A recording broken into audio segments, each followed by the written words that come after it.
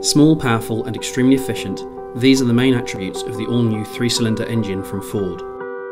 With only 1 litre displacement, the new turbocharged Ford direct injection engine delivers up to remarkable 120 horsepower, strong enough to provide an extraordinary dynamic drive experience. The customer receives the benefit of high performance and the low fuel consumption at the same time, thanks to a variety of innovations. The Ford engineers have developed a split cooling system which enables a much faster heating of the cooling liquid by bypassing the cylinder block at the cold start phase. This leads to less friction in the engine, less fuel consumption, and less exhaust emissions when the engine is still cold. The camshaft is operated via a drive belt immersed in oil. The effect again, reduced friction leading to fuel savings.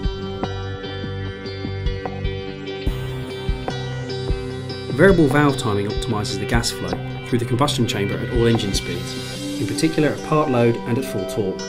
It also enables a so-called scavenging process whenever the intake as well as the exhaust valves are open at the same time. During this process the combustion gases are flushed out. In addition, it benefits the turbocharger being stimulated by the airflow. The direct injectors of the second generation direct injection system are located centrally to provide a much cooler and denser fuel to air ratio, independent of the piston's geometry. This leads to a more efficient combustion and reduces fuel consumption.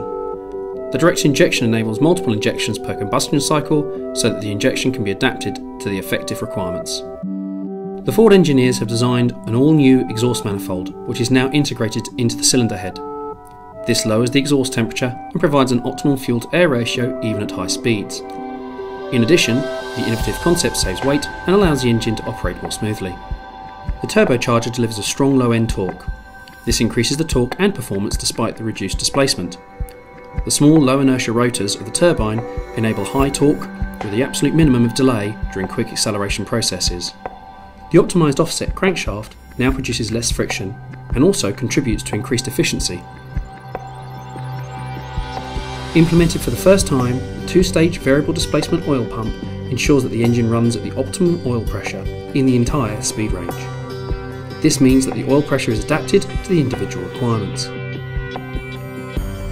Less fuel consumption, less CO2 emissions, but even so, better performance and more fun to drive.